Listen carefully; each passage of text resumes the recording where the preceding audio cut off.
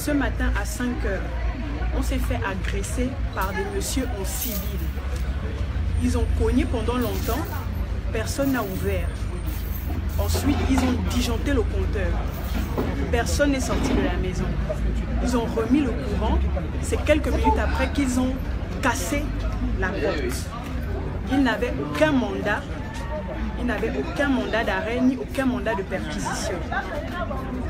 Ils ont pratiquement voulu embarquer ma mère, euh, disons pratiquement en sous-vêtements.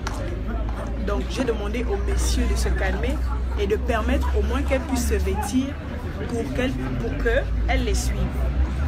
Donc, c'était un cortège d'un peu plus de 5 à 6 voitures. Donc, aussitôt, ils ont embarqué. Tout de suite après, nous, nous avons suivi les voitures. Ils ont voulu nous semer à un moment donné, mais heureusement qu'on a, on a été vigilants. Ils ont dit qu'ils étaient des agents du B2. C'est en arrivant ici qu'on s'est rendu compte qu'ils sont des agents de la PJ. Depuis ce matin, nous sommes à, l'extérieur de la PJ.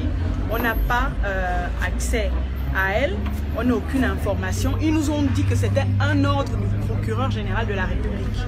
Ils n'avaient aucun mandat, rien du tout. Ils ont tout juste dit que c'est un ordre du procureur de la République. Donc jusqu'à présent, on n'a aucune nouvelle. Ils nous ont dit qu'elle est en train de, de se faire interroger. Donc euh, on attend.